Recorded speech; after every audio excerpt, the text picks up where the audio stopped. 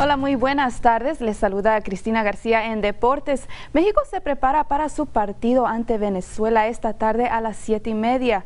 Y con dos partidos de preparación antes de darle inicio a la Copa Oro, Gerardo Tata Martino señaló que los jugadores que utilizará ante Venezuela y Ecuador no necesariamente serán los mismos que jugarán en el torneo veraniego.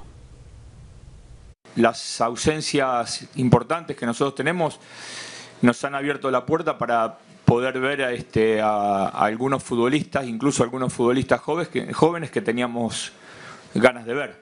Eh, probablemente si hubieran estado este, la mayoría de los futbolistas mm, que quedaron afuera, seguramente esos chicos no iban a poder tener la posibilidad y así se jugarán los cuartos de final de la Copa Mundial Sub-20 de Polonia. Colombia ante Ucrania y Italia ante Malí se disputarán este viernes, mientras que este sábado Estados Unidos se enfrentará a Ecuador y Corea del Sur se enfrentará a Senegal.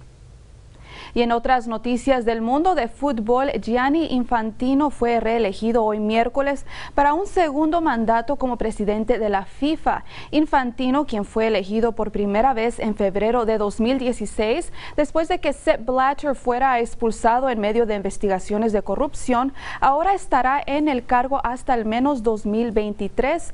No hubo votación entre las 211 federaciones de la FIFA en París, ya que Infantino, un abogado suizo y italiano que anteriormente se desempeñó como secretario general de la UEFA, fue el único candidato. Hasta aquí su información deportiva. Nos vamos a una pausa y regresamos con más.